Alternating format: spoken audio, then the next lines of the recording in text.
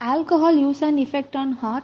Direct uh, negative effect and vasodilation on the heart muscles.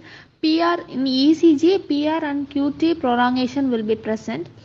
Uh, supraventricular tachycardia and ventricular arrhythmia can occur.